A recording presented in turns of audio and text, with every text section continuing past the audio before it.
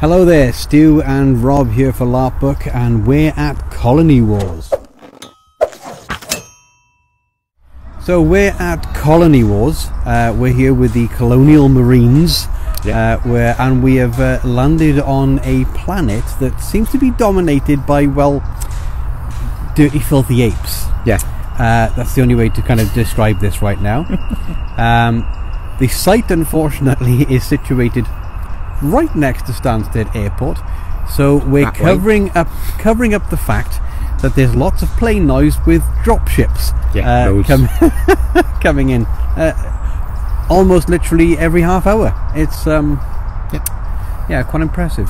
So uh, I've been sort of running around doing lots of filming as per normal and Yep. playing the media crew as it were. Uh, and Rob has been kind of doing a lot of sort of crewing Yeah. and, and that respect. No, So- I, I've been with the Monster Crew, so I've been playing a damn dirty ape, and uh, particularly nasty breed of giant spider.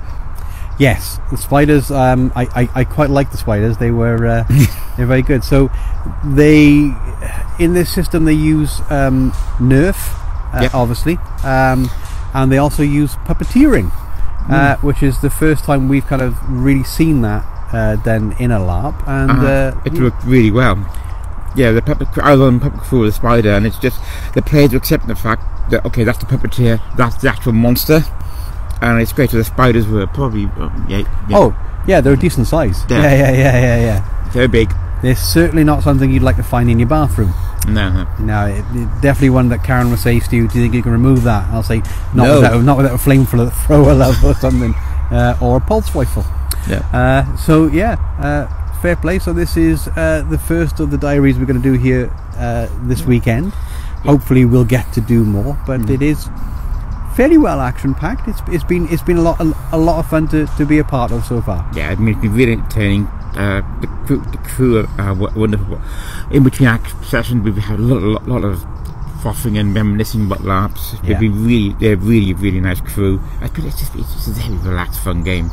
Yeah, it definitely is. The you know the, the smaller LARPs that, that we go to, they are definitely more more relaxed than the, the bigger LARPs. And do you know what? That's actually quite nice. Yeah. It's it's it is it's lovely just to be a part of. Yeah. Uh, so this is Stu and Rob at Colony Wars. You know, basically have fun LARPing everybody, and we'll speak to you soon. Soon. Transmission ends. Over and out.